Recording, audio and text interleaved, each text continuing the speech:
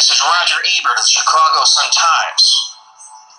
And I'm James Siskel of the Chicago Tribune. Now, tonight we'll be reviewing a movie called Gang Stalking, the movie. It's something that's gotten a lot of praise, hasn't really gained in a lot of money at the box office at this moment, but it's getting a lot of critical acclaim. My only main objective with the picture is the fact that it doesn't confront the people that are doing the gang stalking. Mainly, it's just someone sitting in their car the whole time filming people.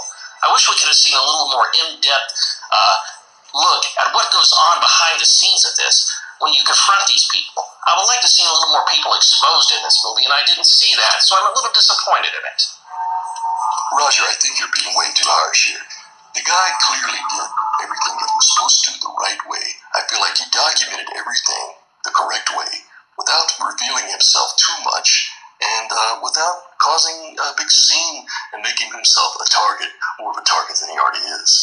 Now, do I think there were some flaws in the picture? Yes. But for the most part, the guy did a really good job and is worthy of Oscar nomination, in my opinion. What did you hit your head on this morning? Oh my gosh, Oscar nomination for what? I mean, did you watch the same movie I did? The guy didn't even hardly talk to anyone. He didn't even get anybody's names. He just sat there and filmed people. I mean, if you're gonna sit there and film people, at least get out of the car and go put your, your camera up in their face or something.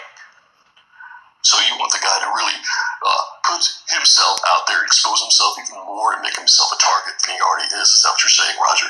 No, I'm just saying, just if you're gonna make a movie about it, just make it a little more entertaining. That's all I'm saying. It wasn't very entertaining in my book.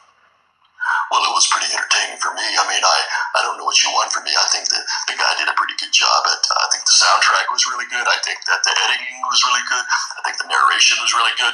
I mean, I don't know what you saw wrong with this picture. Oh, Gene, you're clearly high this morning.